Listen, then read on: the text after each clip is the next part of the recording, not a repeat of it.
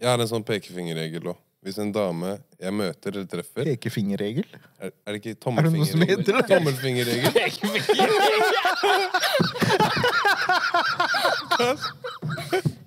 Jeg glemmer, jeg glemmer pekefingerregelen. Pekefinger... dy- Dysleksien i starten der!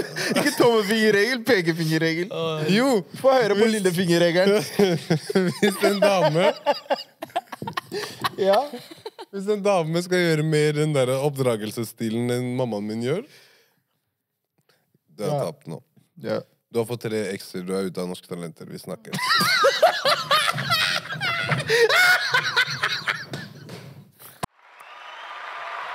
Rett inn. Pang! 111. Episode 111. Hæ? 111. Hva tenker du om det, Jay? Gosh er på astrologi... eh. Darin Gosh. Han er på ast i astrologibagen sin. Ja, jeg skulle kanskje tatt med litt uh, sage. Helt IG-tat. Er det det det heter? Hva skjer da? Hvorfor er dere så stille, dere bak kamera? Nå er dere foran kamera, dere er ikke bak lenger. Nå må dere delta mye mer. Det er fortsatt en Dere kan bare sitte der musestille, mor og far borti her. Det er jævlig sant, det er en vanesak. Det er en vanesak. Vi ble bare så engasjert i hva dere prata om. Se på dere, da. dere skinner med blått lys bak dere. Og nei, nei, nei, gå tilbake til, gå tilbake til Ujala og Kash Hussein. Shout-out til Hussein bak der. Se på dere, nå er dere foran kamera. Det er ikke noe mer gjemme seg bak og være stille. Nå må dere delta mye mer. Dere er på scenen med oss nå. Det Dere er med oss nå. Kanskje hater det her. Han ville jo aldri foran kamera. Vi skal, vi skal snakke mer om de to her luringene som har stått bak kamera. Vi skal komme til det. Hvordan har uka deres vært, folkens? Hva skjer? Jeg har vært litt hjemme fra jobb, litt dårlig. Du har vært dårlig? Jeg blir mye syk. Gjør du det? Mm. Men jeg er back nå. Ja. Podden Velkommen. stopper ikke å rulle selv om man er eh, dårlig. Ja. Hva med deg, Jay? Hvordan er eh, dagene gått? Oh, good, ass, bro. How Sol. good. Selv om det er kaldt og mørkt der inne. Det er sol nå. 20 grader. Ja, på tide, ass. Sommeren uh... Du er uh... Jeg ser gainsa kommer nå. Nei, kutt ut, da. Skuldrene og La meg være Egentlig i fred. ta eh, Vi er der, vi, er ikke der vi vil være ennå, OK? Slapp av. Hva er det du mangler? Vet du hva, bro? Jeg skippa mye leg day, ass. Jeg skal ikke lyve, ass. Det der er ikke bra, fordi jeg merker at liksom jeg får gains andre steder, men legsa henger igjen. Så nå skal jeg, jeg skal prioritere legs og kjøre legs to ganger i uka. Fordi jeg kan ikke være sånn der chicken legs. Det ser helt Du jævlig ut. begynner å se ut som en tortilla. Ja, det er ikke bra. Hva med dere, boys and girls bak der? Hva skjer? Jeg har bare vært i den samme psykosen som alltid. ass. Ja. Skole, studio, jobb. Nothing new. Kanskje er et sidelengs åttetall. Sidelengs åttetall. Ah, uendelig. Bror min, der ja. Det tok litt tid. Mm, tok litt tid for Men det går bra. Vi er i det nå. Ja. Jeg er jo bare på skolen fra morgen til kveld. I går var jeg der fra 11 til 9 på kvelden. Mm. Det var en lang dag. Men uh, jeg syns du var litt god metall i dag. Snakker i mikken, Ah, sånn? Yes. Veldig bra. At han var god metall? Ja, Ja. akkurat nå. 1-1-1. En, en, Sier en. Dere er helt på numerology-psykosen? Ja. Angel 22. numbers. 22-22. Å nei, here we go. Angel numbers og Hvis det er noen der ute nå som ser episoden, eller hører på episoden, og tenker sånn ah, nå trenger jeg bare et tegn fra universet til å gjøre noe positivt, en positiv endring, og så ser de episoden 1-1-1 Og du, Ja. føler, du føler at jeg dreper drømmene deres? Nei, men eh, ha en litt bedre sånn positiv holdning Kanskje folk. Ja. ser Greit, greit, mamma. hva, beklager, mams. hva er det du ikke fucker med numerologi til? Nei, jeg, jeg, jeg føler liksom Det har vært ofte jeg har tatt meg selv i å liksom uh, være liksom, oppmerksom på det, søke litt etter det, sånn, være åpen for det. Men jeg tror ikke på det. Jeg føler at vi styrer litt selv hva Så du tenker Tenk om noen ser 111 og tenker vet du hva, de her har droppa 111 episoder. Jeg har ikke sett én episode. Kanskje jeg skal se denne episoden her. Jo, men hva har det med, De- hva har det med de- numerology å De gir det ti minutter, og så bare wow, jeg skal begynne å trene legs. Jeg også har glemt det.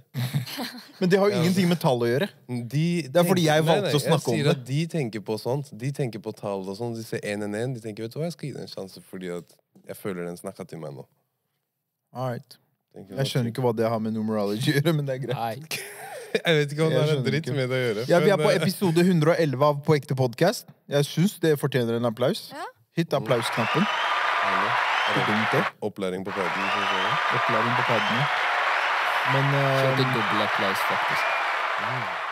jeg har uh, vært litt i dialog med et par uh, kule potensielle gjester.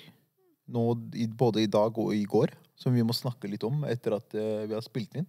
Okay. Tror vi må begynne å få inn litt gjester inn i huset. Får han litt ny energi. Ikke Ja, bare de to ja. nikkedokkene her på Jeg er siden. lei oss allerede. Nei, jeg er ikke lei av dere Må allerede, bytte, men vi må bytte ut. Han snakka nettopp om at vi hadde kommet inn, så de klarte å erstatte oss. Det var en episode karriere. Sverger. Det jeg lurer på, er om folk fra Vesterålen er like frekke som hun er her. Fordi hun kaster mye shots. Apropos det, om de andre Ujala- er sånn. Apropos det, Ujala har fått mye creds. Jeg har uh... Hvem har du fått cred av? se. Oi, Hvem har gitt henne cred? oi. Du likte ikke det? Nei, jeg bare spør. Du var litt sånn, Du hever stemmen din. Få høre, Ja. da. Få høre. Hvor har han du fått cred fra? bretta- Han bretta armene. Han likte ikke Han, det. eh, Han, han tenkte, hvem Det var faen litt er sånn der for toddler Nei, da tantrum pose. Skjæra til Remin på jobb. Hun sier eh, hun, er også, hun er fra Pakistan. Hun bare Wow, dere har fått med en Det er kvinne bare her." fordi hun er fra Pakistan. De er så- patrioter. De er så patrioter. Og så Hun sa for å sitte med dere tre Pakistan Zindabad! Det er det hun tenkte når hun så henne. Har du sett de der barna som yeah. går og skriker? Grep! Hun er en av Det er bare derfor. Nei, men hun sa at hun er veldig tøff. Hadde hun vært veldig- inder, hun hadde dissa hun. Er- Lanker, lanker. Hadde hun vært inder eller lanker, hun hadde dissa hun. Nei, jeg, er personally jeg liker mine sørasiatere. Du gjør det? Each and, each and everyone. Du All beefer ikke med dem? Altså, her i Norge jeg føler det er unity og loyalty som skal til. Hva skjer når du er i hjemlandet? Nei, ikke spør. jeg føler at det får foreldrene mine håndtere. Det er den uh... Men hun hadde et viktig poeng, og det er at du er veldig tøff som tør å sitte i en sånn guttepod på en måte, og stå Absolutt. i ja, Du er alene med hvert argument du kommer med på bordet. Vi- Da, er hun, da, er, da var det verdig cred. Da er jeg med. Ja. Den er god. Så, Men eh, ja, siden vi var litt inne på numer numerology og sånn Numerologi. Numerologi. Det var veldig Herlig, bro. vanskelig ord å uttale. Eh, du spurte meg om Eller du spurte meg om jeg er into it. Er noen av dere veldig på den? Er du, Jalla? For jeg føler det er mer jenter som fucker med sånne ting. der kom den. Ja, der kom den. Me personally, ikke så mye angel numbers og sånt, men I am big believer av Nazar. Hva er det for noe? Evil eye. Evil eye? Så det her, yeah. vi begge to. begge Forklar. to. Evil eye, På samme lag der. altså. ikke sant? Ikke hente Ja, øynene. forklar. Utdyp. Ja, ja, ja, of course. Uh, evil eye, det er jo litt sånn den uh, tanken om at andres vonde intensjoner eller bad omens and bad spirits kan uh, ta litt vekk fra dine goder, eller sånn dine lykker i livet. Så litt sånn, for meg personally, sånn jeg tolker det, så tenker jeg på det som en livsstil. Litt sånn, you know, være omringa av positive folk, være litt humble i det jeg achiever, og samtidig veldig, veldig takknemlig for hvor jeg er. Mm. Den er jeg med på. Ikke sant? For meg er det rent praktisk Men dette var noe helt annet enn Ja, men, nei, men Nei, nei, vi- poeng, fordi det kommer jo fra en viss kultur. ikke sant? Når du for eksempel eh, Det er veldig mye persisk kultur, og så fant vi også ut fra samtalen at det er i pakistansk kultur. Når du drar hjem, så i hvert fall rundt i vår kåk, så er det veldig mye av Nazar Chesh. Mm. Jeg tror det på norsk heter Fatimas øye. Stemmer. Og så uh, er det jo eksempel jeg kommer inn, det første mutter'n gjør hvis det har skjedd noe kult i livet, så tar hun alltid og henter fram røkelse og tar det over huet mitt. Det hadde vi også til felles. Og det man kan konkludere med da, er at vi er beskytta som faen. Ja. Oss begge to her. Men det, det betyr Still, jeg forstår ikke sammenhengen mellom det og numerologi. Det er spiritualitet, bare, basically. At? Det alt er i det, det, det, det som ikke kan tas på, liksom. Du blir jo fra ung alder påminnet på at det er, eh, energi er en greie. Det er et konsept, liksom. Har Du ikke- det. Har du ikke sett de jentene som har eh, sånn eh, evil eye i bioen sin og sånn? Bro, jeg har ikke det. Jeg vet ikke hva slags Helt damer det er du Men vet du hva? Nei, med. De Sånn, her apropos, tarotkortdamene du driver og snakker apropos, apropos det der. med. Hvem faen, hva slags damer er det? Nei, men det er litt sånn Evil eye i bioen sin. Jeg har aldri snakka med en dame som har evil eye i bioen sin. Vet du hva jeg tenker? ja. Når jeg ser evil eye i bioen, jeg tenker jeg har sett nok, ass. I've seen enough, motherfucker! Men vet du hva? Vi Vet du hva? bro. Jeg føler at da var det en god beskyttelse fra bad spirits der. Yep. Ja. Da. Bars. Self-aware, self-conscious. Men hva mener du da? At hvis Bro, noen har har sett nok. Hva mener du da hvis noen har evil eye i bioen sin? Hva mener du at, hvordan de er som liksom At jeg har sett nok! Jeg vil ut! Jeg har sett nok. I wanna be here. Føler du at de skal Jeg kaste føler, spill- jeg føler hvis du er liksom? altfor opp... Altså, vent litt. Ok, la meg clarify. Først og fremst, det, en, det kan være en positiv egenskap at du er bevisst på disse- tingene, at du utforsker, at du, det betyr at du er opptatt av selvutvikling. I noen tilfeller, men ikke i alle tilfeller. I noen tilfeller kan det bare bety at du er en crazy krystallskjæring. Som er litt for opptatt av steiner og lys. Og, skjønner du? Så det er litt sånn Det er en bare fin, hårfin balanse der. Men hva Men det kan, det kan indikere at du er opptatt av selvutvikling. Og det syns jeg er sexy. Det er kult, liksom. Men, men I don't know. Han kasta en sexy. Jeg skulle akkurat jo Ja, er, ikke- er ikke selvutvikling sexy? Jo, det Er er det. det? Veldig. Det er helt jeg har ikke på det. Jeg har ikke tenkt på det. Det var bare det Hvorfor reagerer dere så mye på Det var bare det jeg skulle dra opp Du vet, du etter. er mer I don't know, Du finner andre ting sexy, I guess. Du er litt eldre. Å ja, selvutvikling er ikke sexy for deg, Kars. Kars syns ikke at selvutvikling er sexy, Det er, folkens. du, det, det er ikke min Jeg se. ikke- Å, fy faen, hans hun greie. leser mye uh, Hva skal jeg si? Å, fy faen, hun spiser mye yoghurt og drikker Yt. ass. Det er hot, bro. Det er ikke, det er Nei, ikke det. Men jeg sa ingenting om yoghurt Ja, og Yt. Det er selvutvikling, det og Det er kosthold, ikke sant? Nei, men det, det er noe helt annet. Ja, nå. Kars, du skjønner jo du blir, at, at en dame går på trening og vil noe bedre for seg selv og dropper byen og jobber med seg selv. Selvutvikling. Yes. Ja, Det er veldig det- turn men on. Hva har det med yoghurt å gjøre? Ja, men hva har det med Nazar Kishma å gjøre? Selvfølgelig har det det. Det betyr Selvutvikling og det å ha evil eye i bioen sin, det er ikke så mye selvutvikling der. Altså. Nei, men det var ikke det jeg sa. Nei, men det var der vi starta. Det er der vi starta. Jeg prøver å ta i Det var jo ikke det jeg sa. er eh, Det var ikke det jeg sa i det hele tatt. Det jeg sa, var at det kan være en indikasjon på at du er opptatt av ting som jeg forbinder med selvutvikling. Som det å lese bøker, det å reise, det å se på krystaller, astrologi. De er ofte, Sånne damer er ofte opptatt av selvutvikling. Det har ikke noe med yoghurt å gjøre!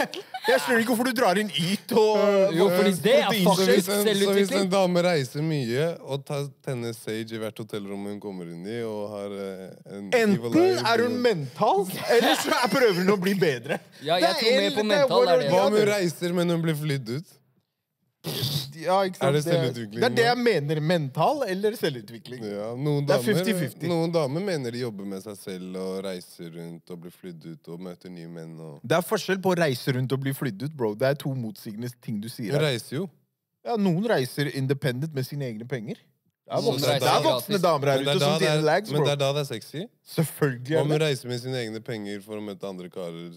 Ikke La hun gjøre hva hun vil. Det er hennes liv. Hvem er jeg til å dømme hun? Oi, oi, Det er ikke kona mi. Ja, la hun reise. Reis hvor faen du vil. Nå han ble politiker. Jeg skal reise, jeg òg. Hvordan, hvordan kom vi oss hit fra Superstitions? Han skulle snakke om uh, evil eye. Selvutvikling og evil eye. Men føler dere at den evil eye-greia gjør noe for dere? Ja. Ja. Jeg har ikke tatt den på ni år. Ok. Ja. Også i roller og på scenegreiene og Karpe-greier. Aldri tatt den. Okay. Ja. Fikk lov til å ha den. Nei da. Skjær av til alle som er glad i selvutvikling. Jeg syns det er fint at folk er bevisst på sånt. Det er veldig viktig. Det var jo det jeg sa hele tida, men dere var uenige med meg og kasta meg under bussen. Nå tar du ordene mine og gjør dem til dine egne. Ja, Sinnssykt. det er på. Sinnssykt hvordan dere holder på. Det er sånn vi driver podding nå. Ok, Går i sirkler. eh, Dere debuterte forrige episode. Nei, Kars og Ujala. kanskje. Ja. Jeg, har jo vært, jeg var jo med første episode. så- Nei, jeg mente Ok, sorry. Dere debuterte foran kamera. Ja. Ja, Du også, debuterte ikke. Du har jo debutert. ja, Men det her her er tingen. Det her er tingen. Vi følte at eh, Det har jo skjedd mye siden Mm. du også ble med, Kars, selv om du ble med veldig tidlig. Mm. Ujala er mye nyere enn deg, mye ferskere enn deg. Eh, Men det har jo skjedd nytt. Vi får inn nye lyttere, nye seere, som kommer om bord liksom fortløpende. Sånn er det med podcaster og forskjellig liksom, når man lager content. Så vi tenkte det hadde vært en fin mulighet for å bare oppfriske liksom, hvem dere er, og hvorfor dere er her. Og hva dere gjør. Damene først, eller? Nei, du kan begynne. Så kan dere ikke fortelle publikum litt om dere selv. Um, jeg heter Kashayar Afshar.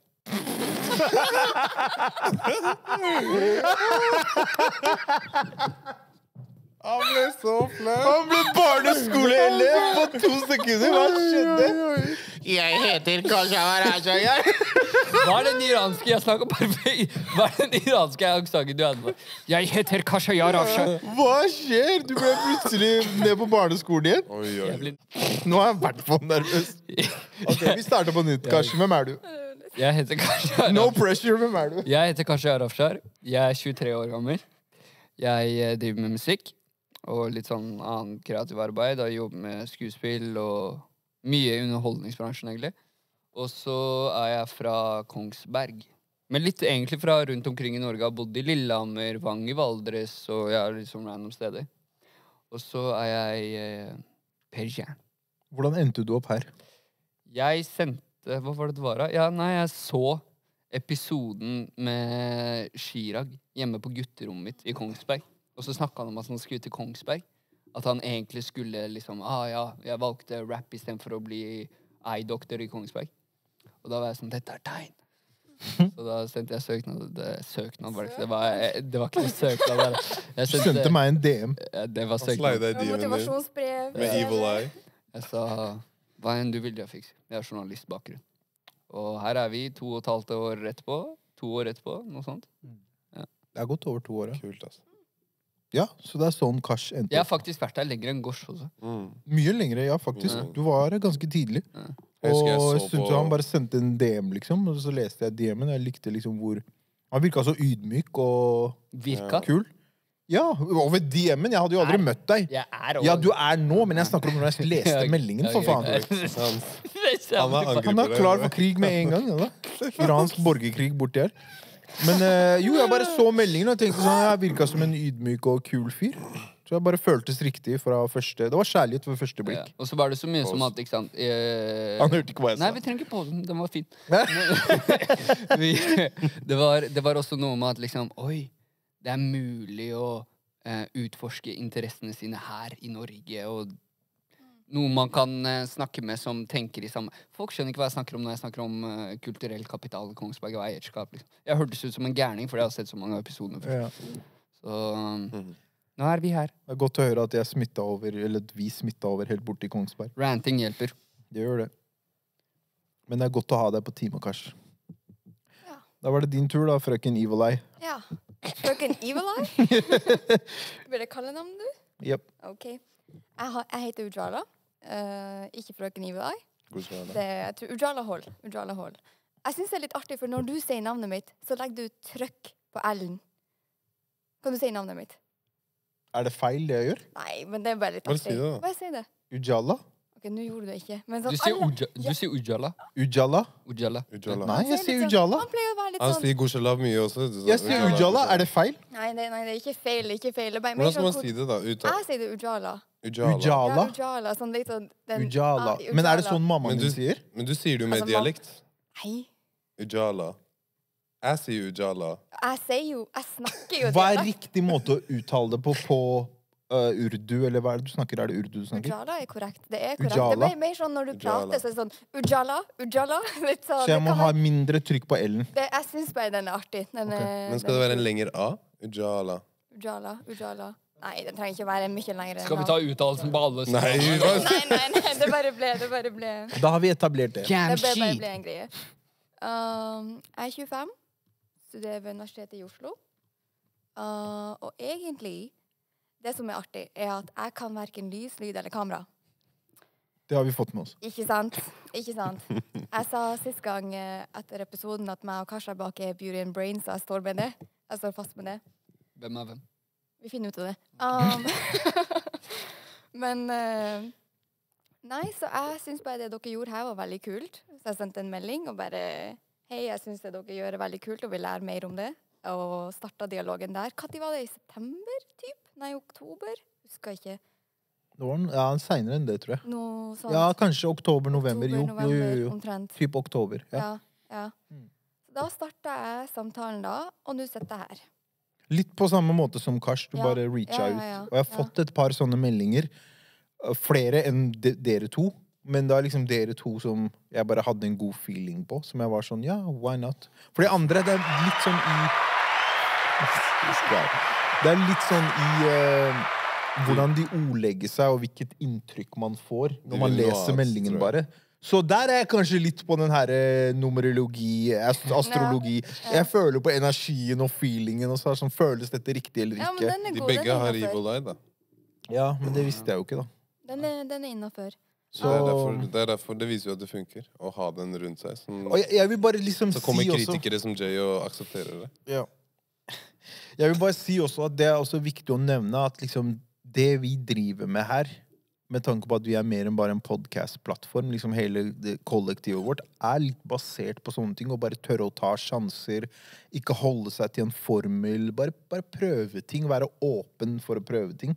Og jeg føler det har vært mye av ehm, grunnen til suksessen vi har hatt, men også lærdommen vi har hatt langs veien når vi har gjort feil. liksom. At okay, man prøver ting. Noen ganger prøver vi kanskje litt for mye. Men heldigvis falt ikke dere under litt for mye bagen. Dere falt under riktig prøve litt forskjellig. Ja, Så har vi også, har vi jo Gors derimot, det er noe helt annet. Nei, jeg Og så har vi jo også Vi har jo Vi er jo ganske like opp... Vi passer på dere, Ja. Mor og far, Holde oss ansvarlig. Han er jo fra Kongsberg, og før vi går videre, jeg er jo fra Vesterålen, men opprinnelig fra Pakistan. Så den er jo også at vi har et annet perspektiv på ting. absolutt. Nei, jeg tenkte bare det hadde vært kult at dere til både gamle og nye lyttere at de får med seg litt hva, hvem dere er. Ja, og så har jeg jo Ujala vært med siden september, ikke sant? Noe i den duren. Noe sånt. Noe Ja. sånt. Ja, og så jeg har egentlig vært for det meste bak kamera. Jeg har jo vært på hver episode fra da. Ja, ja. Så pass på tullingene, og hva mer gjør man da? Prepper research, er med på do- dialogen om ideer og det ene og ja. det andre. Mye av det er- redaksjonelle og produksjonsbiten av ting, da. Den, den syns jeg er artig, for verken han eller meg skulle jo sitte her foran kamera. Det ble jo bare litt sånn. Ja, ja. Det- Helt Det bare, jeg ble til sånn. Han, Kars har jo vært her gjennom alle epokene, på en måte. Jeg kom inn i Mm. epoke fra 57, episode 57 cirka.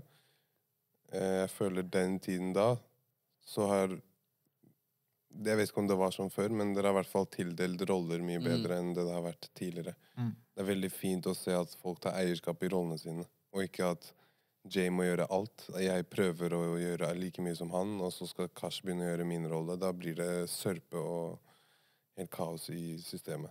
Og det er kult at du sier det, Gosh, fordi det er også liksom Kanskje en ting som vi burde snakke mer om, er Og jeg håper ikke at dette blir liksom for internt for de som hører på, men jeg tror det er relevant for alle som har, driver med samarbeid, om det er liksom Ja, bare profesjonelle samarbeid, da. Gjerne med liksom folk man har et godt forhold til og er glad i og har vært venner med over lengre tid, eller er venner med. Mm. Og det er det at liksom Det har skjedd mye forandringer hos oss. Det er liksom Folk har kommet og gått litt. Og det har skjedd liksom en utvikling. Og det er ofte av noen ganger av naturlige årsaker. Sånn, når jeg sier naturlige årsaker, så mener jeg bare at folk bare vokser i en annen retning, har lyst til å gjøre andre ting. Mm. De finner ut av at ok, jeg har egentlig ikke så lyst til å podde hver eneste uke lenger. Det var kult å gjøre det en periode, men nå vil jeg gjøre noe annet. Eh, og i andre tilfeller så er det bare sånn samarbeid som ikke funker. Ja. Eh, men det betyr ikke at man ikke skal fortsette å ha et samarbeid. Det er bare at det kanskje ikke funket i det området der. Mm. At det ikke var optimalt for prosjektet man jobber med, for helheten av det. Da kan man heller flytte fokuset på andre prosjekter og, og som du sier, tildele roller andre steder. At man bare tilpasser og justerer ting ut ifra hva er best for det alle jobber mot. Ikke sant? Og det vi jobber mot, er å bygge et brand. Det er det vi driver med. At du Mm. liksom kan bygge opp en ting som har verdi for alle. Både sammen, men også individuelt vekk fra det. Ikke sant? Fordi Kars nevnte han jobber med musikk. Ikke sant? Så jeg tenker ofte på det, at jeg vil at det vi bygger her, og brandet vi har, at det er noe som kan benefitte det han eh, jobber med. Mm. Fordi det har ikke noe med podding å gjøre. Nei. Men det har med at hvis, når brandet vokser, så kan han benytte seg av det brandet han har vært med og vært inkludert i å hjelpe Ja. til med å få det til å vokse. Så det har alltid vært visjonen fra dag én. Og derfor når du ser lillebroren min Hiwa, Mm. musikken han driver med, så mye som Hiwa har bidratt til alt dette, og det her er like mye hans sitt, på samme måte som det er like mye ditt, osv., at nå har han full fokus på liksom musikkarrieren sin, Tobias. men brandet vårt Mm. er fortsatt med langs den reisen. Selv om Mm. det ikke har noen ting med podding å gjøre. Mm. Og så er det viktig også å skille mellom ikke sant? Det mm, jeg har fått høre flere ganger, og som til et punkt eh, kanskje gjorde meg bevisst på at vi må tydeliggjøre varemerket. Altså at liksom folk Det er så ofte folk ikke vet forskjellen på Look North og på ekte. Mm. Look North er jo ledd Nei, eh, på ekte er jo et ledd innad i Look North. ikke sant? Dette er på ekte-teamet. Eh, dagen jeg debuterer med greiene mine, kanskje det går under Look North-paraplyen, i tillegg til Hiwa sitt. ikke sant? Hva enn enn Musikkanalen. Ja, at skuespillerkarrieren til eh, Tobias Tobias går gjennom Look Mm. North. Det er jo det man ønsker å oppnå. At man kan bli en he- headquarter for oss. Det er Og det, og, det, ja, og det må ikke gå under direkte, hvis Mm. ikke det passer. Ja. Det kan også være et samarbeid, Absolutt. skjønner du? Mm. På tvers av liksom, forskjellige Mm. brands. Så, så det er bare, poenget er bare at man prøver å bygge noe som er sitt eget, og som alle kan benytte seg av. Da. Mm. Så det er derfor ting har vært sånn som de har vært, og det har vært så mye endringer og forandringer og Det som irriterer meg innenfor kunst, det- kan være når folk blir provosert over at ting ikke er som det var. Ja, Eller at godt ting point. ikke liksom Mm. er som de vil at det skal være. da. Yes. At de ikke klarer å bare ta inn over seg hva det er. Mm. At man hele tiden skal tenke sånn Men hvor er han? Hvor er han som var med der? Og er det, hvem, Hæ, er det Jay eller er det Hiwa som sitter der? Hva, ok, jeg trodde Og derfor har vi valgt å bare La oss ta en liten pause. Vi tok jo ja, vi tok en liten pause etter episode 100. Og så etter episode 100 så er det meg og Jay som er liksom ansiktene. Bak så har vi Jalla og Kash. Og Så har vi folk rundt. Men da, hvis eksempel Nasser eller Kalim sitter her, så er det Da er de her for å løfte stemningen. Da er de her, men de er like mye en del av Look North, selv om de ikke er like mye en del av På ekte podcast. Og Og samme, samme med Elias også, fordi han var med oss når du kom med. Det er samme med han også. Det er, det er Man bare flytter fokus andre steder. Det, man kan fortsatt jobbe sammen, man kan fortsatt gjøre ting sammen. Og da igjen, hvis han kommer på som gjest, så betyr ikke det at Oi, dere har tatt han med igjen nå. Ok, men hæ? Og så er han ikke der neste episode. Hæ, dere har bare kasta han vekk? Hva skjer da? Det er sånn, nei. La oss tydeliggjøre at podkasten, det er to, to profiler. Vi er veldig mange, men de kan dukke opp og komme og gå som de ønsker, fordi da har vi rom for det. Mm. Men For det er også no, jeg, jeg liker alt det du sier, for det er noen ganger også sånn derre Folk må også skjønne, fordi de er så vant til den tiden vi lever i nå, mm, at alt er så publisert. At yeah. all sladder må frem. Alt må liksom publiseres og offentliggjøres. Men må det det? Hvorfor må jeg det? Hvorfor må det det? Hvorfor skal jeg gi etter det presset? Visse Mm. ting kan skje under luk bak luk lukkede dører. Mm. Visse ting må skje internt. Altså kommunikasjon og ikke reality, endringer. Ja, det her er ikke reality-TV. Det her er ikke Paradise Hotel. Jeg trenger ikke å Stemme expose Ja. alt og expose mennesker og ditt og datt og, og expose meg selv for den saks skyld. Visse ting er sånn, bro. Vi tar det internt, og så beveger vi oss fremover. Og det er, en, ikke sant, det er en rar tilnærming å ha at man ønsker at Ja, hvorfor er det ikke som før? Fordi det er jo som at Ja, igjen, vi driver ikke med reality. Vi driver med noe innafor kunst. Så hvis en uh, uh, ja, ja, La oss si Kanye, da. Når han droppa Colder Dropout, og så gikk han på 808s og Heartbreak. Hvis, folk, hvis han måtte komme ut og forklare seg Ja, men jeg er i en mer følsom bag om dagen. Og det, det er jo ikke det som er poenget. Mennesker går gjennom en selvutvikling. Jeg har tenkt på det så mye, Kars. Ting og- endrer seg. Og jeg føler at hvis du velger deg en favorittartist, så føler jeg at en av grunnlagene dine må være at du liker veksten til eh, vedkommende. At for eksempel, hvis jeg skulle sitte her og sagt jeg savner Get Rich or Die Trying 50 Cent Karen ville out the hood. Karen hadde så mye eh, på hjertet sitt. Når bankkontoen hans sprenger, og han lager TV-serier, og han gjør ditt og han gjør datt Hvorfor skal han sitte og snakke om eh, Many Men og 21 Questions og alt? I'm in a good place. Da må du akseptere det og tenke wow. Oi, folk må se på Look North eller på ekte podkast og tenke wow, de har kutta det ned til det.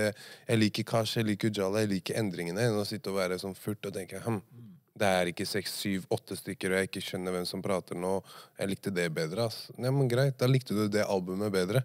Men se kanskje hva vi kommer med neste album. Eller det her. Vær med på reisen. Ikke ta så Sett deg ned som en barn som får spagettilegs. Er Og, sånn, og sett pris på det albumet for den tiden Ja. det ga deg da. ikke sant? helt enig. Det var Også- en epoke av livet. Nå er det videre. mm.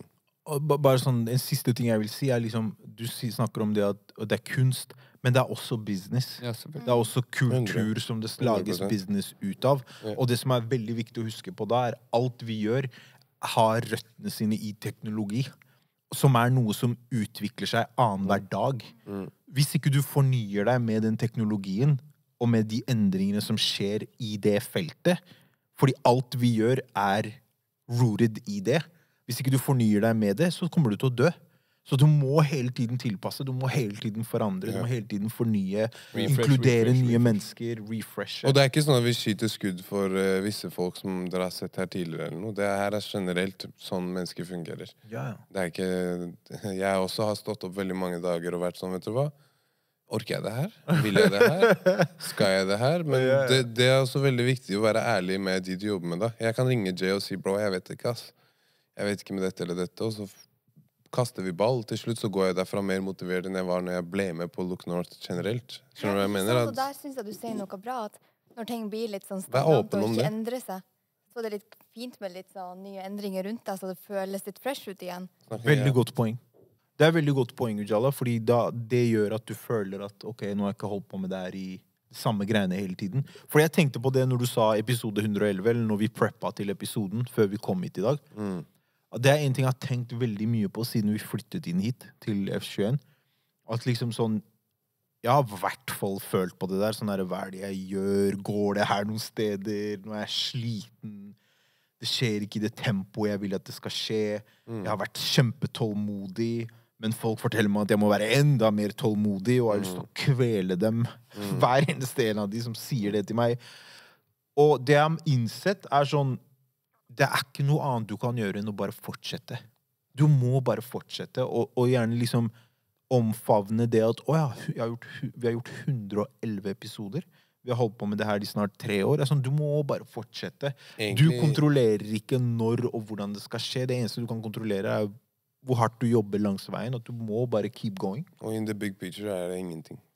At yeah. du, har drevet med, du har drevet i det feltet her, kreative feltet, i ganske mange år. Men i det feltet her har det ikke egentlig vært så lenge. Nettopp. Og da er det veldig vanskelig Det kan være vanskelig å skille. Ja. At man liksom Ja. Du, altså, folk har drevet med det her i ti år, og da går det veien. Det jeg syns er jævlig interessant med alle kreative felt, og det er også grunnen til at jeg dør for kreativitet, Mm. at min største, største drøm og største ønske jeg har i hjertet mitt, er å kunne leve av kreativitet. Og gjøre det 24-7. Fordi det som er så spennende med det, er at alle later som de vet hvordan dette fungerer. Mm.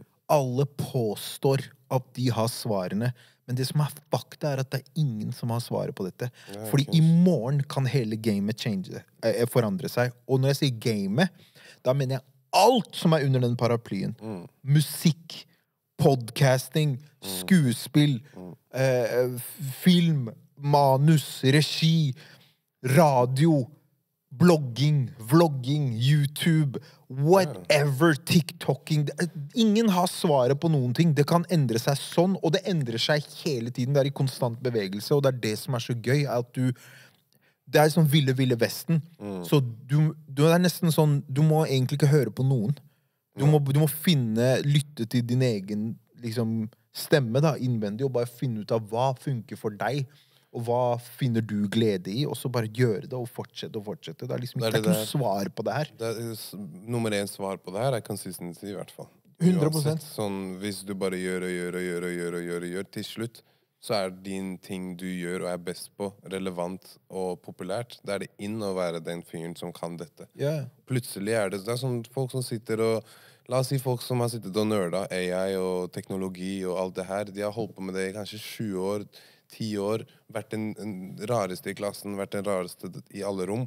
Men nå er du den mest ettertrakta og kommer til å tjene mest penger i framtiden. Skjønner du hva jeg mener? Yeah. Bare gjør, gjør, gjør. Plutselig er podkast det kuleste som kan være. Poddere tjener mer enn rappere i USA, bro. Skjønner du hva jeg mener? Men ikke her i Norden. Eller i Norden, sier jeg, men i Norge generelt. Er sånn. Men bare fortsett å gjøre og gjøre og gjøre. Til slutt, de checksa kommer. Den, man kan leve av det. Se på KSI og alle de Joe Rogan, hvor mye de drar inn av å sitte og prate. Ja, fordi, så det er, ikke det, det er ikke det at jeg sier at det ikke finnes liksom, i gåseøynene svar på ting. Det fins Det er vanskelig Jeg å formulere. Fordi svaret, ja, et av svarene er consistency. Mm. Men jeg mener svaret på hele det spillet her. Ja, Det å leve riktig. av kreativitet, det der, det greiene Ja. der, for det er i konstant utvikling.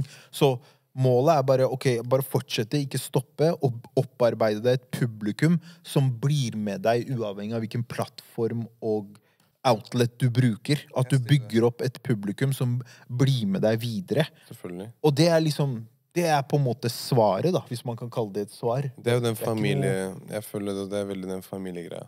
Hvis du klarer å få med deg publikum, det er fordi de liker deg som menneske, og ikke bare kunsten du gjør. så er det jo spesielt at folk har veldig stor, i hvert fall i yngre alder, veldig stor tendens til å liksom dø for en eller annen sjofer i USA som rapper. Ja. Men så poster du ikke greiene dine. Og det er sånn, bro, vi vokste opp sammen i 15 år, liksom. Ja. Du, du mener at folk støtter ikke sine egne? Ja, Ja. Men, men det er spesielt med eksempel rap, da. Eller hiphopkultur på generell basis. Folk har jo ikke noe problem med å støtte kompisen som vil bli fotballspiller. Selv om det er egentlig statis statistisk litt mer absurd å streve seg Mm. etter. Liksom. Du konkurrerer med mennesker på et latterlig basis, og basketspiller, hva enn. Ja. Men med musikk så er det så spess med kulturaspektet, fordi folk er liksom Du er ikke kul, for du er kul. Ja. Hva tror du er grunnen til det? Nei, nettopp det. At du er ikke kul, for du er kul. Fordi det, med hvert fall musikk så har jeg en tanke om at uh, artister blir jo nesten hylla på et aspekt der de er over mennesker. Og det er jo et uh, over, ja, hva skal man kalle det, overnaturlig fenomen, eller hva enn. Noe mer, da. Når du går ut på en scene, og alle i publikum skriker til deg tekstene du hadde i hodet ditt.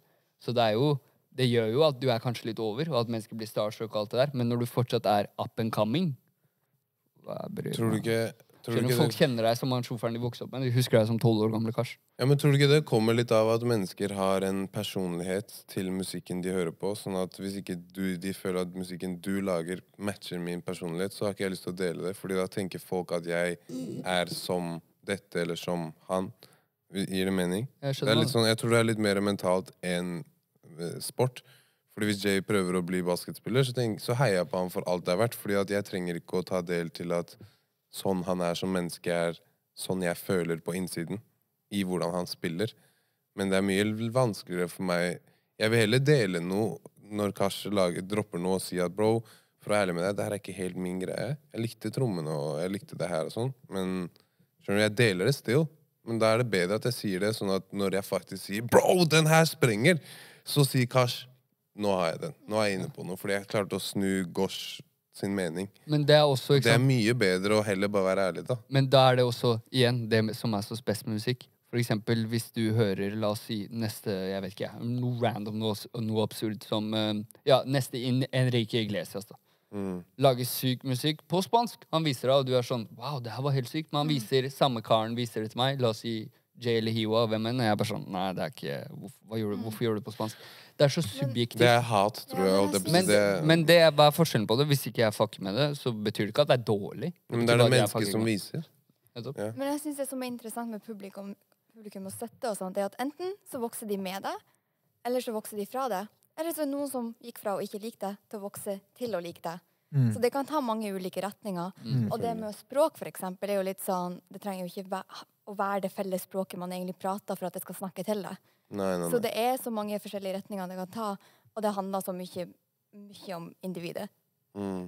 Absolutt. Jeg tror også en ting som um, når, når det gjelder det der du prater om, om man, at folk som ikke støtter deg Jeg tror det ligger Som et eksempel. Det, ja, det ligger så mange faktorer bak det, men jeg tror en viktig ting For man kan dra paralleller mellom en som støtter en artist, og en som følger med på en pod. Som podkast-lyttere. At de kan Mm. hoppe til en annen podkast. Akkurat som jeg kan fucke med en artist, og så fucker jeg ikke med han lenger. Jeg går til en annen. Fordi nå er han oppmerksomheten min. Det handler om hvilken verdi du bringer til bordet for lytteren. Ja. Mm. Hva gjør dette for meg? Ikke sant?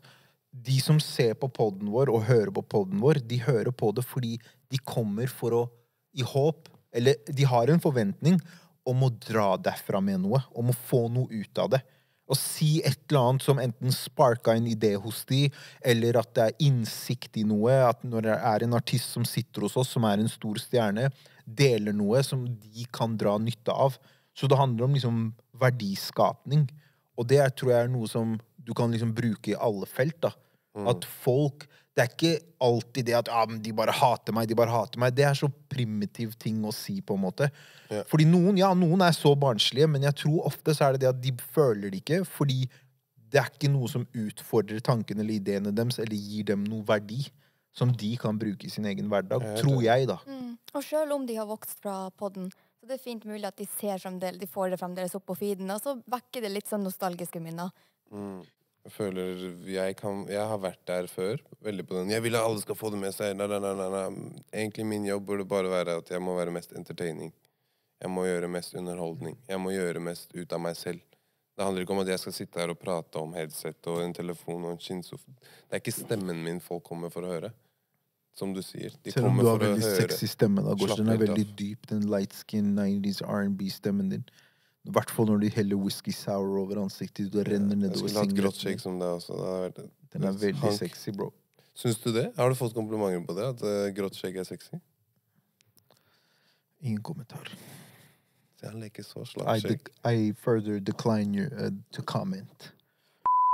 Hvordan syns du har hatt sexy skjegg? Slapp av nå. Oi. Slapp av nå. Slapp av nå. Ro deg ned. Chill. Ok. Du blir såra. I'm gonna rest my case. Oi, oi, oi, oi, oi, oi, oi, oi, oi. Nei, vi må klippe vekk alt det der. Kan vi ikke beepe? Jeg liker beepingen. Ja. Vi går videre, bare. Beepingen Jeg er liker beep. Pass på ledningen, så ikke du Vi går videre. Så veldig fresh ut i dag, da. Takk. Skal du ha. Stand. Eh, ja, hva annet har dere på hjertet, folkens? Ja, jeg prøver bare å gå videre her, for du driver og tuller fælt nå. Eh, jo, vet dere hva? Jeg har en ting jeg vil ta opp. Ok. For vi snakka litt om samarbeid. Mhm. Vi kan gå fra samarbeid til eh, partnerskap. Det er fint. Det kan vi gjøre. Mm. Det tenker jeg er en eh, grei Segway. Jeg kom over en TikTok her om dagen. Jeg føler jeg refererer mye til TikToks, men det er en helt sinnssyk trend som går på TikTok nå. Du bor bra inni TikTok. Å, fy faen, bro. Jeg tror det her, for meg, er kanskje verre enn det vi så med russen. Og det som skjer med russen om dagen. Hæ? Det her er noe av det sykeste jeg har sett. Hva er det han har gjort? Det er en trend som går på TikTok nå, på på hvor voksne menn, unge menn, eldre menn, menn generelt, som er liksom average height, som har en helt gjennomsnittlig høyde mellom 1,60 til 1,80, som er egentlig langt over gjennomsnittshøyden, på verdensbasis. eller på grenseland til gjennomsnittshøyden jo- på verdensbasis. Ja. Og det de gjør, er de går og gjør inngrep og operasjoner i beina, hvor de setter inn plater inn på siden av låret sitt for å bli høyere. Og noen av de går liksom fra typ 1,65 til 1,80, fra 1,80 til 1,90. Det er helt sinnssykt, og de må gå rundt med sånn stor stålplate som ser ut som Terminator i låret, og må gå i rullestol i tre til seks måneder. Og videoen vi har, det det opp, videoen eh, vi har opp her, er en kar som har gått fra 1,72,5 cm til eh, ja, høyere, i hvert fall. Jeg vet ikke hvor mye høyere, men det ser ut som beina hans har vokst. Nei, det er, vi snakker om 10-20 cm. Ja, noe i den duren. Sånn, And I feel small. og du, men du må gå sånn her eh, liksom, Du ser på den TikToken her. Du må gå i sånn rullestol og Seks krykker- måneder i rullestol. krykker i et halvt år Å, fordi at du okay. Det er det. er så misfornøyd med høyden din. Jeg vet ikke hva dere syns, altså, men det her for meg er ganske det er, Se på det her, Se da, på han klarer ikke å bøye knærne sine. Men det er jo det jeg tenker, for at man, nervene strekker jo ikke til. Du gjør jo mye mer skade enn du, enn det du får ut av det. Bro, hvis du må gjøre det der Jeg vet ikke for hvilke grunner. Han som han- ok, vent litt. Hvor høy er du? Jeg er 2,05. Du er 2,05. Du er høy som faen. Du er langt over Det er kanskje vanskelig gjennomsnittshøyden. for meg å prate på det her. Hva men- tenker du om det her? Fordi det her er insane. Hva tenker du om det her? Du som er såpass høy. Det hadde vært, jeg tenker det er interessant å høre ditt perspektiv på det her. At menn ta, gjør inngrep for å bli høyere, fordi de er så usikre på høyden sin. Og de gjør jo dette for å finne en partner. De gjør dette for å Ja. hente flere damer. Bro, du får ikke så mye mer damer, tror jeg, av å være Du tror ikke det? En, Nei, men la, bare la meg fullføre. Jeg tror ikke du får så mye mer damer av å være 1,80 eller 1,90. Jeg kan se den hvis du er 1,60 og blir bom 1,90. Det kan være litt gøy. Men som en to meter høy fyr Man glemmer fort høyden sin, hvis det gir mening å si. Vet Ja, faen, du glemmer det, ja, men damene glemmer jo ikke det. Damen, damer nå om dagen er jo sinnssyke. De baserer hvem de blir interessert i, bare på høyden deres. Før karen har åpna kjeften sin, så er de tiltrukket i han bare pga. høyden. Noe jeg ikke klarer å fatte. Det jeg ikke skjønner, er hvordan det er lov å kunne si det. Eller hvordan det er godtatt i samfunnet å kunne si det. Jeg, kan aldri, jeg kunne aldri sagt at jeg skal, være, jeg skal aldri ha en eh, dame med flere ass. Ja, ikke sant? Eller at hun må være innenfor en viss eh, grense eh, når det gjelder er vekt, liksom. At vekta det. hennes måtte være Til og med det, Hvor mange damer har ikke operert rumpa si fordi alle gutter snakker om å ha det her og det her og det her? Det her er resultat av at gutter hører hele tiden 'du er for kort', eh, 'sorry, jeg kan ikke møte deg', og så tenker de 'faen, hadde jeg vært 1,90 hun hadde møtt meg'. Jo, men det andre er også over. resultat over at karer Ja, sier Men det er det jeg sier, at det det er det her som skjer når den derre ah. Jeg sier bare at nå har vi kommet til et punkt hvor vi alle gjør det her. Det er ikke bare damer, på en måte. Jeg følte det starta litt med damer som gikk og tok titties og ass. Nå begynner menn å fikse hairline og knær. Bro, det her er sinnssykt. Hva, hva tenker dere om dette? Jeg har ingenting å egentlig ta stilling til. dere, dere, dere hadde så veldig lite å si. Fordi dette påvirker ikke deg. Jeg tror det er derfor. Det er Du sier du tenker si. ikke over det. Bro, det er fordi du er to meter høy. Ja, Du, selvfølgelig tenker du ikke over det. Nei, men Ja, jeg er over gjennomsnittshøyden. Jeg har aldri vært usikker om høyden min. Jeg er veldig fornøyd med hvor høy jeg er. Men de folka her, noen av de er like høy som meg, og kanskje til og med høyere enn meg. Og de gjør sånne inngrep. Det, det er fatter jeg usikkerhet, det er jo usikkerhet, da. Det er Du er jo ikke en usikker bro. person. Du er ikke, det passer ikke Jeg bare klarer ikke å fatte det. At, at du går så langt for å få ti ekstra centimeter i høyden din. Er det så krise der ute? Nei, han Liksom? går fra 1,72,5 til 2,10. 2,10! Er det en som har vokst 30 cm? centimeter? Nei, han skal. Han er 1,90 nå, og så kommer han til å gå mot 2,10. Bro, det er jo Du skal 100% få Det er litt sånn smerter og plager når du blir eldre. Altså, Du skal slite. Du Bro, skal gå på painkillers resten av livet ditt. Han har gjort idiotisk move, fordi han her vet ikke en dritt om hvordan det er å være to meter engang. Han går fra 1,72 til 2,10. Du Ja, du skal bøye deg under hver DM før du gjorde det her, og spurte han hvordan er det å være 203, Gors? Nei, nei, men han skal bøye seg i hver eneste dør. Han skal Fordi dører er 2,0 De er 2,10 Du mener grunnen til at han ikke burde gjort det, er han fordi han må bøye seg ned Nei, foran hold dører? kjeft, faen. La meg snakke ferdig. Bare å Se på han! Se hvordan han går! Se så hiv han når han skada korsryggen. Nei, bro. Ok, Greit nok, jeg skjønner at folk vil bli høye, og sånn, men bli 1,90 eller 2 meter. 2,10, bror? Skal du gå og spille med KD? Så du syns det er greit bare han holder seg innafor Nei, fordi jeg har spurt folk før Er jeg freak høyde. eller er det sånn, ser det normalt ut? Fordi jeg er redd for å være sånn oh, ja, freak oh, høyde. dette er interessant. Har du vært usikker om høyden din? Ja, motsatt vei. Oi! Men det sånn Så du har hatt komplekser om at du er for høy? Det er veldig interessant. Og som liten så vokser kroppen din så fort, sånn unormalt fort, at ene uken så kan dørhåndtaket være her, og så andre uken så er det det Det blir helt koordinasjon. Det er alt så rart, skjønner du. Det er Jeg husker mamma, mamma pleide å se det på meg, at sånn jeg kunne gå different og liksom bare Og du ser høye, unge kids som spiller basket. Koordinasjonen deres er veldig rar, fordi at de bare pop, Så er det sånn to år etterpå er du 1,90 fra å være 1,70. Men du er fornøyd med høyden din nå? Nå er jeg det, men jeg er sånn hvis jeg hadde vært 2,12, litt lengre bein eller litt lengre overkropp Jeg er veldig glad for at det er bra symmetri. Jeg har vært usikker på at det var akkurat den jeg satt og tenkte på med de her. Ja, Det fordi skikkelig disproportionate. kneet ditt eller låret ditt er jo tang, plutselig. Og armene òg. Det blir jo stoppet lenger oppe. Så det gir jo liksom ikke mening. Det, da ser jo man på det og tenker her er det noe som skurrer, men kanskje man ikke engang ved første øyekast greier å legge merke til hva det Men det er det jeg har vært redd for. Om jeg ser sånn her ut, om sånn Slenderman Du vet at eh, halsen din plutselig er lang, overkroppen er bitte liten, og beina er dritlange. Da ser du plutselig ut som eh, ja, da- Boban.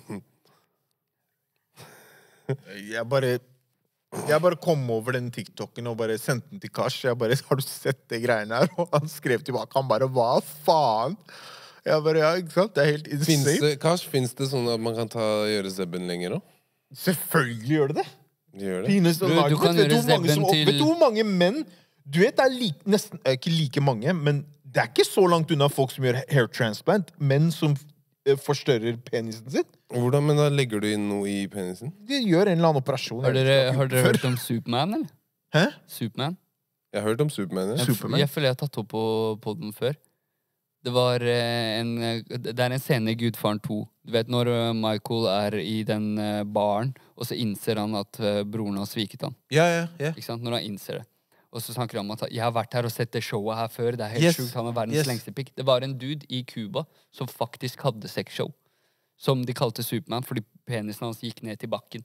Okay. Så de pleide å ha sexshow av at han lå med jenter, og så kom folk og betalte for å så på det. Det sies at John F. Kennedy også var der og så. Han har tre bein. Han har tre bein, ja. Men ja, ja, bro, penis enlargement. Det er mange menn som gjør det. Jeg vet ikke hvordan prosedyren er, men det skjer. Hva tenker du om dette, Ujala? Du har vært veldig stille.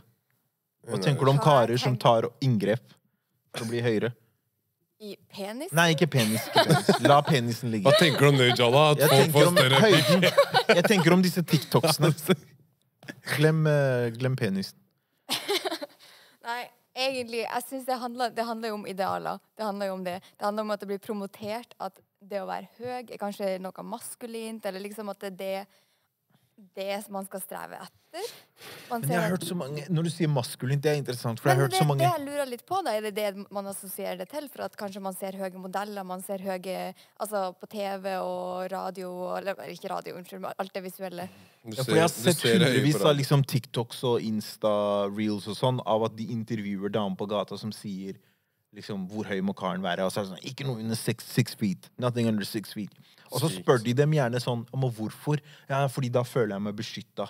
Da føler jeg meg trygg. Og da er jeg sånn, bro. En kar som er to, to meter eller to ti, kan være den største pysen i verden. De fleste karene som virkelig kan slåss, og som kan drepe deg med ett slag De har ofte sånn 1,60-1,70 jiu-jitsu og MMA-fighter og som har sånne brokkoliører, og ingen av dem er høye. Skjønner du hva jeg mener? Så det er sånn derre, bro Hva har Det det med, hva har det med maskulinitet og, og liksom styrke og beskyttelse å gjøre? For jeg føler det her liksom gir mening. Back in the days når det her var sånn caveman society, og man skulle protecte og whatnot. Og sånn sett så kan man si at det biologisk gir mening. At man går etter da noen som er høy, for at man kan føle seg trygg. Men i samfunnet i dag Så stemmer ikke det. Du jeg kan være sånn her, se helt grå ut. Den junkien kan bare jeg er død. Hva skal jeg protecte? Det er idiotisk. Men det er mye syke trends på TikTok. Men det er noe det biolo biologisk bak da. Det er jo det å tiltrekke seg noe som er større enn deg selv. Ja, men jeg skjønner at ikke du vil føle deg større enn typen din. Det er veldig fair. Og hvis Ja, ja, er men bro. Sånn, men eh, Hvis jeg står med en kar Jeg tenker ikke så nødvendigvis så mye på høyden hans, mm. men jeg tenker på at jeg har litt store lår. Og jeg er sånn Hvis jeg i forhold til Det er han veldig in nå, Jalla, så Ja. det går helt fint. men, Nei, nei, men jeg skjønner hva du mener. ja, men så tenker jeg litt sånn Jeg bare Jeg føler jeg kan knekke han. Ja, ja, of course. Ja, men- Nei, selvfølgelig. Det må være Du må føle at det er likestilt til en viss grad. Eller at det er så likestilt som mulig. Altså så nærme som mulig. At det er balanse der. Jeg har tenkt på det her veldig ofte at når du er veldig stor, så blir du automatisk Du blir mer laid back, er en påstand jeg har. Du blir mer, Hva er det du tenker på? Nei, nei, jeg lytter. Ja. Tenker ikke på det. Nei, fordi store hunder også, de er veldig mye mer chill. De, er sånn, de beveger seg sakte. Små hunder, de er hele gangen Sånn Napoleon-kompleks. Små mennesker har også Napoleon-kompleks til en viss grad. Hvis du ser alle sånne NBA-spillere, alle er veldig mm. De, de, er, de vet de er store. Og så Tenk om du er 1,70, du blir 2,10, men du har en Napoleon-kompleks. Som big guy. Det er en interessant observasjon. De tar jo ikke det med seg. Nå skal du ha little man energy and big Du, body. ja, så du føler at det å være høy, det har en viss kultur? En viss sånn Det kommer mye mer med det, skjønner Ja, du? Du ja, skal ja, du bare, kan ikke bare operere, og så er du plutselig heavyweight. jeg skjønner det litt også, fordi en gang så var jeg og gårs ute. Det her var lenge siden, det var i fjor eller noe. Det var ikke Amaretto Sour? Nei, det var lenge oh, før Amaretto okay. Sour. Det var på skobutikken eller et eller annet sånt. Det var en eller annen event der. Jeg husker ikke hva det var. Mm. Men det var liksom i fjor sommer. Og da husker jeg når vi dro fra stedet. Og så er det sånn når folk samler seg etter at kvelden er over og stedet stenger. Så står det mange folk ute på gata, liksom. Så gikk jeg bortover med gårds. Fy faen, da følte jeg meg liten, ass. Fordi han motherfuckeren der er så høy. Så jeg forstår Følte den du deg feelingen. ivaretatt, Jøy? Nei, ikke det Tenkte hele jeg tatt. passer på deg nå? Ikke det hele tatt. Han tenkte jeg er så trygg nå. Her på Brugata. Poenget mitt er jeg kan forstå at når en dame går ved siden av deg, Gårds, at hun Jeg kan forstå det, selvfølgelig. Det er logisk at hun Ja, føler seg trygg når hun ser en to meter høy kar. Men jeg bare sier sånn det, det kan komme en kar som er 1,60 og gi han en albu, og så våkner han ikke opp igjen. Vet du hva jeg sier? Så det er sånn, Den logikken er weird. Jeg liker jenter når de går i sneakers. Jeg pleier å si til dem også at mm, bare ha sneakers og noen jeans. Det går bra. Jeg trenger det lille skjørtet og høye hæler og sånn. Du liker Og- ikke skjørt og høye heller? Jeg liker det. Det er ikke det. Bare sånn Slapp av. Vi skal Jeg liker ikke skjørt Jeg. Trenger ikke høye Nei, nei, men da, da, må, da må vi være safe. Men hvis vi skal ut og gå, gå litt rundt og sånn Jeg orker ikke den Sitter du på ene beinet og heler på den Nei. andre, så får du Jeg går litt kjapt òg, så jeg er sånn Du må henge med her. Jeg orker ikke å gå i tre-fire Å ja, så sneakersen er for at hun skal gå like fort som deg? Det er for at hvis det skjer noe Fordi med hæler, du går for sakte. Shit's about to go down. Jeg har ikke lyst til å stå her og slåss for deg. Jeg løper. Du må Men da være med. tar hun bare av seg hælene. Nei, da skal du løpe barbeint i gatene. Funker dårlig. Så hun må ha sneakers for å kunne løpe med deg når det Løpe med meg når shit's about to go down. Du skal ikke, jeg skal ikke slåss med en kar på 1,70 med Gat som skal dra med oss sånn her når vi er på ferie. eller Du må være bam! Vi skal være Olympics, begge Hører du to. det, dama til gårds? Du må ha på deg sneakers for å være klar til å beine når shit goes shit- down. jeg skal ikke ris risikere livet mitt for deg sånn der. Det funker ikke. Den der høye, hele miniskjørt ah, ah, Nei, altså, jeg har ikke tid. Jeg Du må kommer til være atletisk og klar til å løpe. Å, fy faen. Hvis det er kona mi, da kanskje jeg skal slåss for deg. Men hvis det er en date, hvis det er, en date er du syk? Ja, sånn- Hjem til Grønland. Ja, det er litt sånn survival of the fittest, det jeg hører nå. Alle er i krigsmodus og tenker på hvordan de skal overleve krig. Det er sånn der, Hva Nei, er de nei, men, times? men på ekte, jeg syns det er mye mer turn on hvis vi skal ut og gå rundt i løkka. eller Bare ha på deg noe heftig kicks. Men i Du må ikke dro og gå rundt Så vi kan løpe. Jeg er sånn omtrent 1,62. Ja.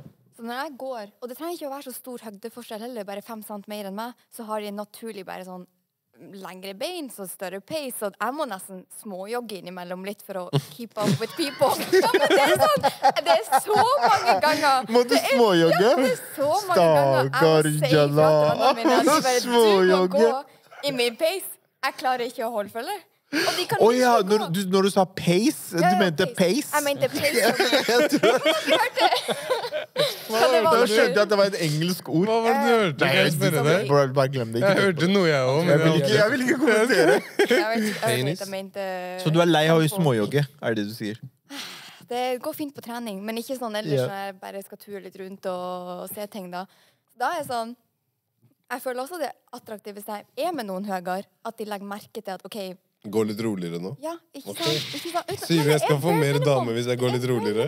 Det er jævlig interessant, for jeg har aldri tenkt på det sånn. minimum, men det er faktisk Og det føler jeg for meg blir fort ganske sånn Ikke red flag, men litt sånn jeg blir obs på hvis jeg går med noen og på date, liksom, og jeg ser at de går literally et steg foran meg, og ikke egentlig tar hensyn til at uh, Date Skjer er det, men er ikke det ganske weird hvis du er på date med weird. en dude og han går fra deg? Ja, ja, det er weird, og jeg snakker fra erfaring. Da har du vært på ja, Har det Det er skjedd? weird, og jeg snakker fra Har det skjedd at du har gått med en dude Ja, du snakker av erfaring. Okay, Jeg snakker med, er, altså med, av erfaring at det har, jeg har skjedd uh, Det har opplevd at um, jeg går med noen, og jeg tror det ikke skjer med vilje. Det er mer sånn at de bare ikke legger merke til Sånn, plutselig er ikke du der.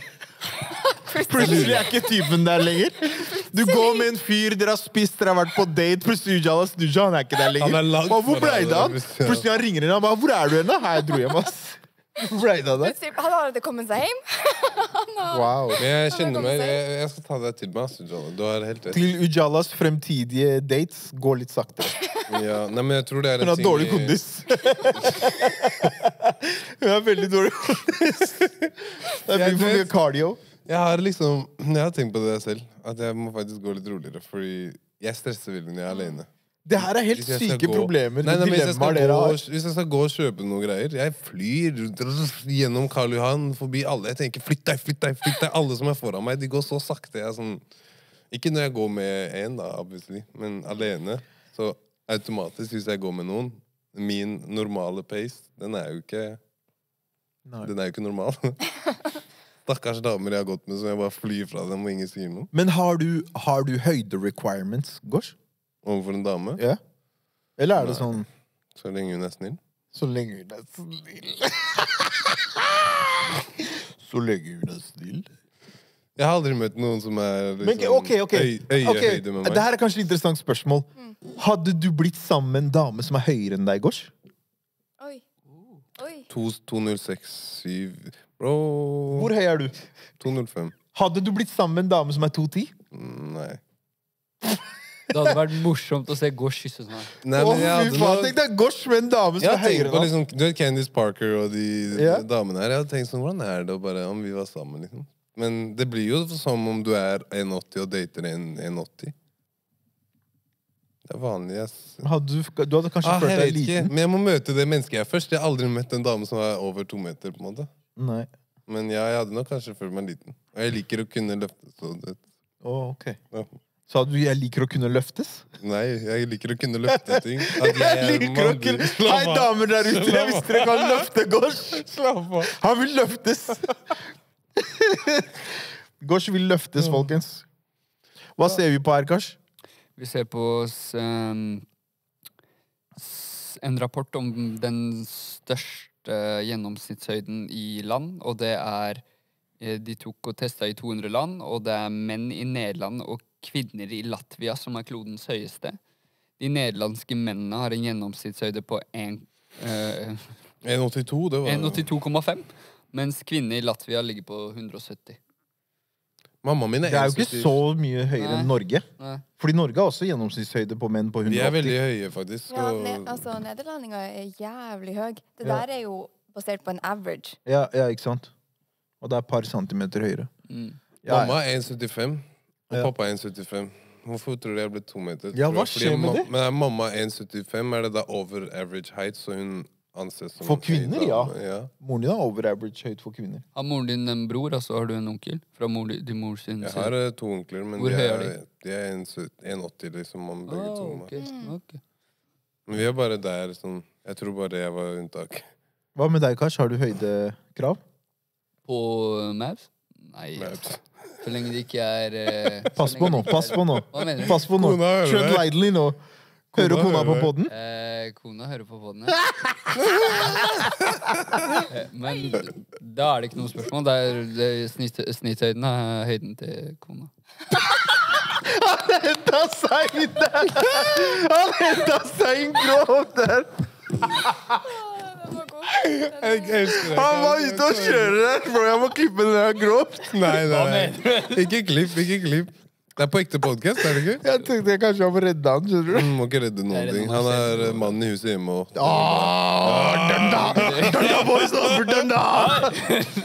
Han sier Han skal si i dag når han kommer hjem Du, bare så du vet, jeg har sagt noen greier som kommer ut på søndag.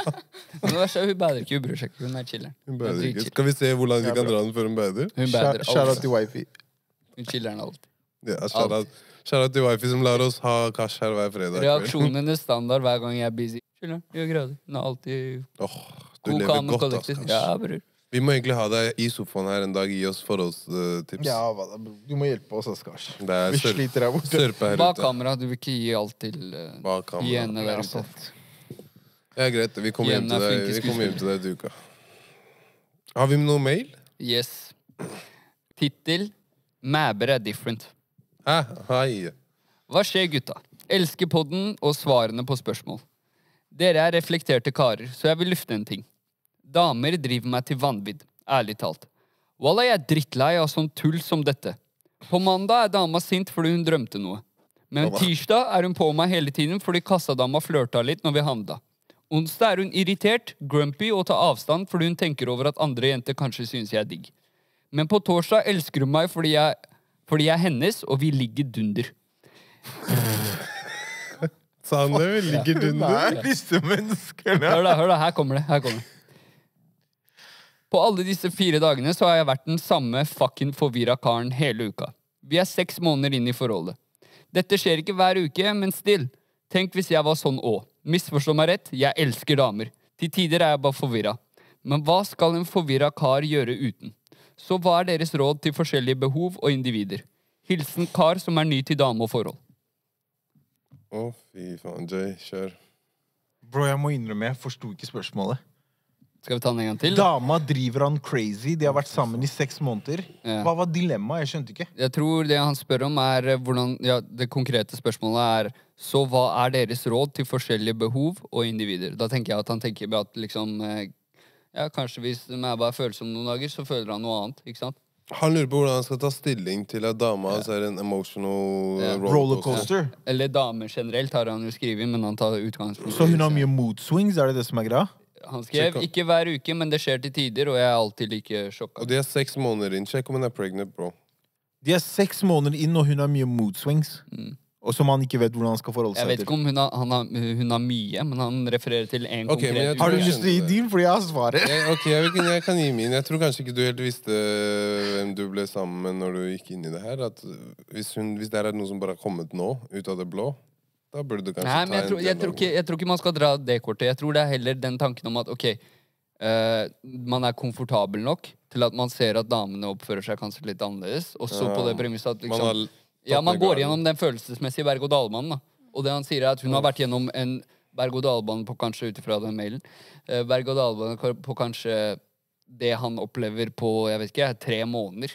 Av grumpy, sur, og så etterpå æsking, og så du vet alt det der greia. Bro, jeg tror, jeg, Ja. Før Jay gir sitt svar, jeg tror ikke at det her er noe som bare kommer til å stoppe med at jeg gir deg noe godt svar. Jeg tror det her er sånn dama de er, dessverre. Så hvordan overlever man med sånne damer? Hvordan du overlever, bro? Jeg er singel. For a reason. jeg klarer ikke. Det likte jeg, altså. 100 bro. Tenk Men på applausknappen. Jeg kunne ikke vært mer enig. hvordan skal du overleve det? Det er jo jeg har ikke overlevd. Kom deg ut, bro! Kom deg ut! Hva er overlevelsesmodus? Er du i krig, eller, bror? Kom deg ut, kompis! Kom deg ut! Get the fuck out while you can! Du er sånne der damer som gjør den derre I want a man who can handle me og da, da, da. Hvis du må handle dama, nei. Ja, bro. Snakk til dem. Hjemme i huset ditt. Du skal være peaceful. Det skal ikke være sånn der. Og det samme gjelder til damer òg, selvfølgelig. Karnis, du skal ikke handle karen min. rent praktisk, hvis det er en bra dag på mandag, dårlig på tirsdag, bra dag på onsdag, dårlig på tirsdag, og så bra på fredag igjen, så tror jeg jeg hadde satt meg ned, hadde en prat og sett hvor det går. Mm. Og så egentlig bestemme ut av den, praten, da. Så du er enig med oss, egentlig? Eh, Get out. altså, altså det der med at man har hatt en drøm Sett deg i en kar. Kan du sette deg i en kar? At du ser for deg du er med en kar som har hatt sånne mood swings. Hva hadde du gjort da? Karen hadde mood Ja, jeg vil høre det her fra en dame. Hvis en kar Han kommer hjem ene dagen. Han sier 'Hør, jeg er drittlei. Vi gjør aldri noe. Kan vi gå og spise?' Hva, hva? Neste dag han sier 'Hør, vi gjør altfor mye'. Bla, bla, bla. Og så alltid et eller annet nagging og grining. Hva hadde du gjort da?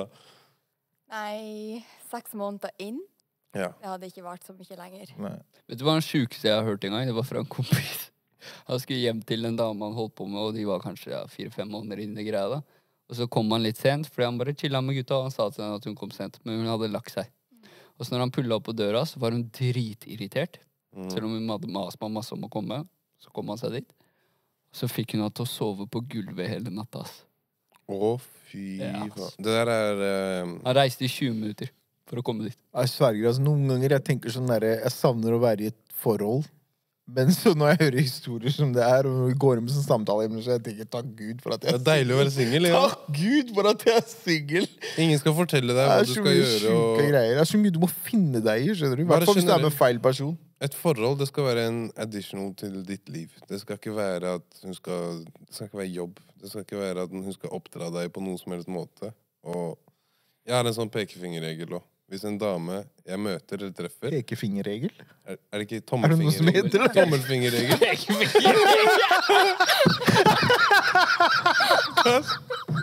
Streng versjon. Fy faen. Det er den her. Det er, Pekefingerregelen. det er én ting som er viktig. Forrige episode han hadde kos kost deg i himmelen, bro. Nå han har pekefingerregler. Han karen her er ti av ti.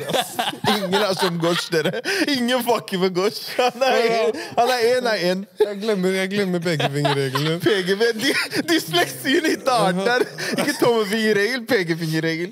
Jo, Få høre på lillefingerregelen. hvis en dame Ja. Hvis en dame skal gjøre mer den der oppdragelsesstilen enn mammaen min gjør Du har Ja. tapt nå. Ja. Du har fått tre ekser, du er ute av Norske Talenter. Vi snakker.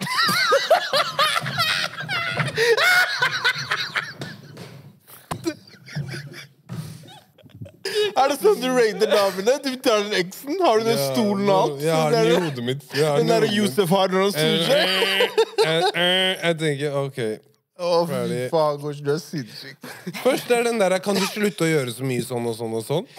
Og så er jeg sånn der OK, strike én. Og så er den der Hvorfor gjør du alltid dette og ikke dette? Hvorfor er du sånn og ikke sånn? Sånn, Du liker ikke at ting er Du går litt mer ut sånn Hei, OK. Og så kommer den tredje strike. Da er det den Hei, nå ser jeg at du vil at jeg skal spise dette, være sånn, behandle deg på denne måten, denne måten, denne måten. Det er, sånn, det er greit å ha preferanser, men du prøver å change, oppdra meg i en different måte her. Det er din tredje, tredje blir for strike, vi påtrengende. snakkes. Det er pekefingerregelen fra dere. Pekefinger, tommelfinger, hva enn dere har lyst på finger. Du Men er eh, sinnssyk. har du noen ukas låt, Jay? Ukas låt. Du bare Vi raser gjennom her. raser gjennom her. Kan ikke du begynne da med ukas låt? Mm. Nei, jeg må samle meg litt. Hvem vil begynne? Du Før vi gir oss her Eller, for i dag. Kash, har ikke du alle ukas låtene her? Jo, det har jeg på eh, rad og rekke. Rad og rekke, skal vi høre på dem også, for å gjøre det litt koselig her? Yes, jeg tenkte jeg begynner. Vær så god. Ok, Hva er ukas låt, Jay? Min ukas låt er fra DJ Chase B, som er DJ-en til Travis Scott.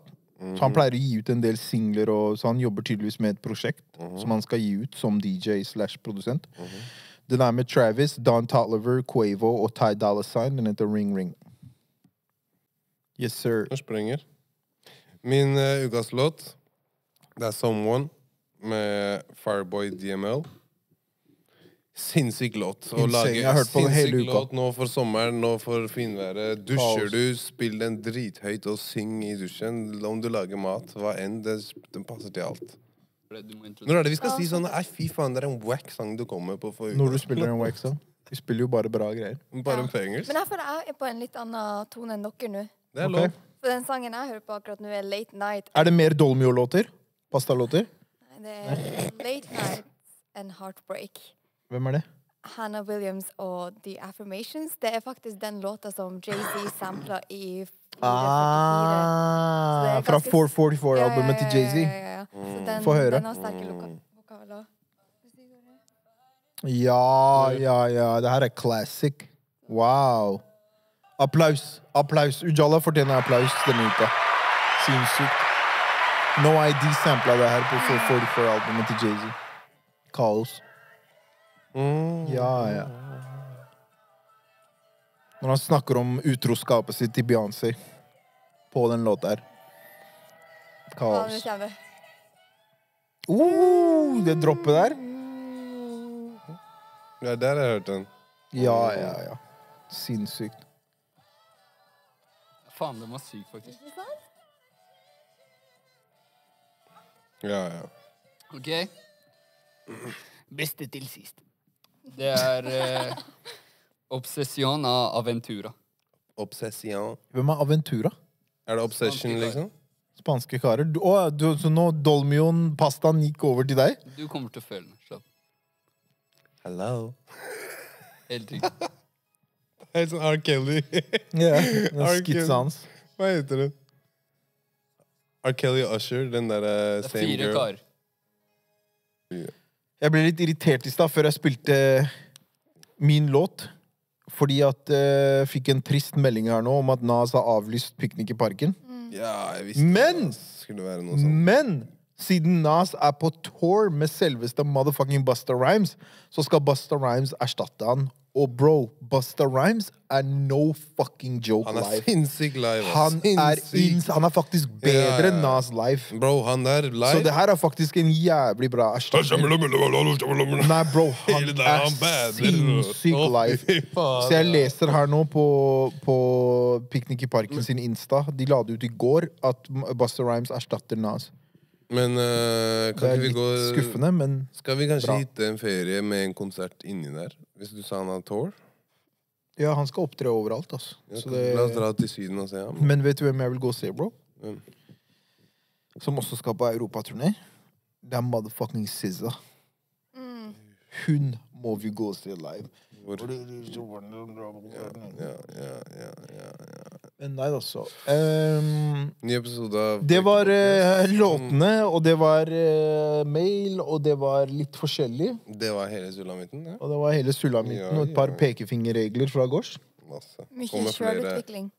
Mye selvutvikling. Er dere fornøyde? Er det noe annet dere vil snakke om før vi rapper opp her? Nei. Chiller'n. Ok. Det blir bytta ut neste uke, så bare følg med. Vi er tilbake neste hour. uke, og eh, kommer til å ha med et par gjester snart fremover. Gå på en liten run. Det er fint til sommeren. Så gjør vi oss klare for sommeren. Subscribe. Wavecheck er like rundt hjørnet. Følg oss på TikTok. Wavecheck er rundt hjørnet. Ja, det er på tide nå, bro. Det, Det må smelle nå. Ja, det skal sprenge nå. Så bra. Hit er- er applausknappen. Da gir vi oss. Dette var en ny episode av På ekte podkast. Kjære til Hussein, Max og Diego. Boys. Da kan vi rappe opp. Det kan vi jo. Det var alt fra oss. Lik, subscribe, alle de fine greiene, gode greiene. Jalla.